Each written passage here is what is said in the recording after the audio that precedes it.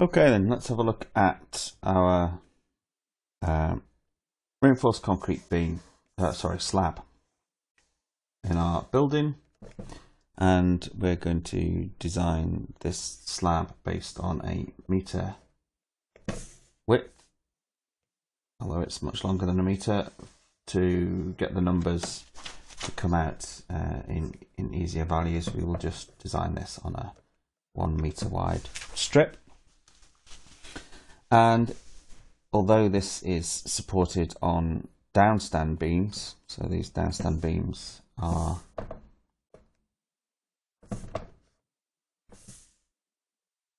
that the support the actual support conditions. What we'll say is that these downstand beams are not going to be designed to take torsion. Uh, it would be very difficult in practical terms to do that. Um, we'd end up with torsion links and the torsional flexibility of these elements is such that any attempt to resist torsion would result in excessive rotational deflections. And um, it would result in, in, in the need for very substantial sections to resist those torsions.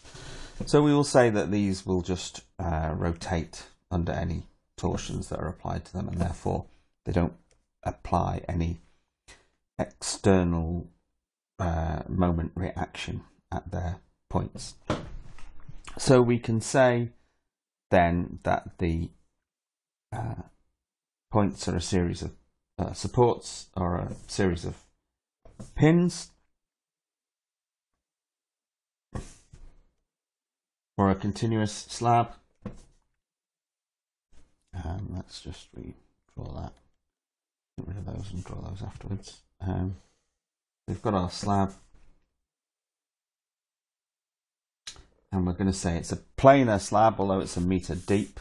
We're going to design it in two dimensions, um, and that's why we've chosen a meter strip, so that the uh, per meter run um, values of our UDL are the same as per meter squared. So in actual fact, in reality, every meter has one meter squared worth of load on it, but we are ignoring the third dimension and just designing this as two-dimensional uh, planar structure, and therefore our um, W, which is in kilonewtons per meter squared in reality, for the line beam, the, the two-dimensional plane beam that we're looking at, W can be represented in kilonewtons per meter run because we've got a one meter um, width. So this kilonewton per meter squared is multiplied by one meter, which gives us kilonewtons per meter. Okay, and we're going to idealize this structure as by saying it has um, pin supports because they cannot uh, apply any external moment because they, they, they won't take torsions. Um, so we could say that that was a fixed pin. And these are rollered pins um, to to make sure that there is no horizontal forces generated. Um, it, it's good practice to, to, to idealize those as rollered pins. Okay, so that is our idealized structure. Under load, this structure will undergo deformations. Uh, we, we will allow rotations, so so there's no slab here or here to provide uh, internal moments. So that end is free to rotate.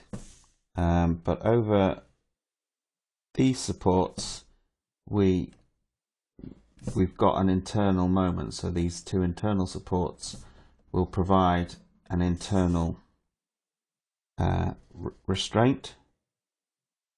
Sorry about my drawing.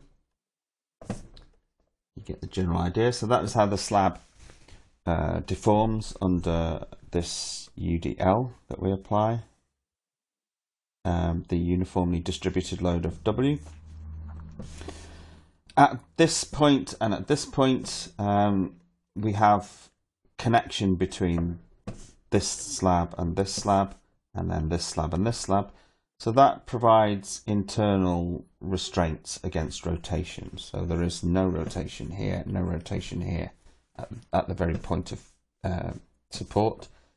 At this point of support, we do get a rotation. And at this point of support, we get a rotation too. Okay, So we can um, split that into our three separate slabs that we're going to consider as part of the moment distribution exercise. And we can see then that this is allowed to rotate uh, and then it comes up to a point where that is fixed. So this is not allowed to rotate, but this is allowed to rotate under load. This central slab, again, it's not allowed to rotate there. It will undergo some deformation like that and it won't be allowed to rotate there. Okay. So we will get that deformed shape for the central slab. So you can see that it's actually different to to, to this slab. Our um, grid lines are one, two. This is for the slab, single spanning slab in our example. Three and four are our grid lines. So this is one, two, three, and four. Again, our, our grid lines from our drawing. Uh, this slab is restrained by the adjacent slab at this point, so it's not allowed to rotate. However, at this end, it's free to rotate.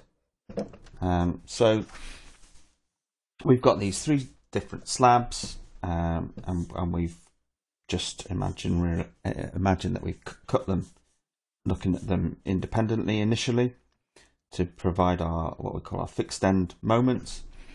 So we can see then that this is idealized as a pin with a fixed end line beam. This slab uh, 2, 3, so this is slab 1, 2. So 2, 3 is again fixed and it's fixed at both ends this time. And then 3 to 4 is a slab which is fixed to its adjacent slab 2, 3 and pinned at this end. Okay, so those are our three uh, slabs, three separate slabs. Um, the stiffness of this, the K value, the K coefficient stiffness is equal to, for, for a pinned fixed, is 3 times Young's modulus times the second moment of area divided by the length. So what that's saying is, is as the Young's modulus increases, this, this beam is stiffer. Uh, as the I value, the second moment of area, increases, this beam gets stiffer, and as L increases, this beam gets more flexible. So the longer it is, the, the less stiff it is. So that L goes on the on on the bottom is inversely proportional to that. For a fixed fixed end, the stiffness is 4 EI over L. Again, we're not, not going to prove these again. We just get these from our standard tables. And similar to 1, 2, 3, 4 has a K value, K stiffness coefficient of uh, 3 EI over L. Um, and that gives us our K values. So the K value of the support is the sum of the Ks on either side. So K of this support is 3 plus 4 EI, so 7 EI over L, as is this K of support 3, which is 7 EI over L. And we will use those values. We don't need to know what the Young's modulus is or the uh, I second moment of area is or indeed the L length because in our problem they are all constants. Um, so we they will cancel out as we'll see when we come to work out the distribution factors for our moment distribution. Uh, the other thing we need to get from our text is that for a pinned fixed beam end, the um, fixed end moment is equal to W, small w, L squared over 8.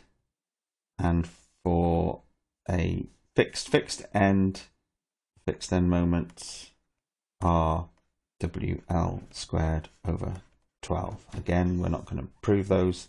We just take those from our level 4 um, studies and we just look them up in a textbook now. Again, FEM for this one. It's a fixed end and a pinned end. So the fixed end moment for that is WL squared divided by 8. Okay, now we'll use these ratios 3EI over L divided by 7EI over L. So this has a um, distribution factor of 3 sevenths because everything else cancels out. This one is 4EI over L divided by 7EI over L. So that's 4 sevenths. And again, all, all the other, the EI and the L cancel out because they're all constant in our case.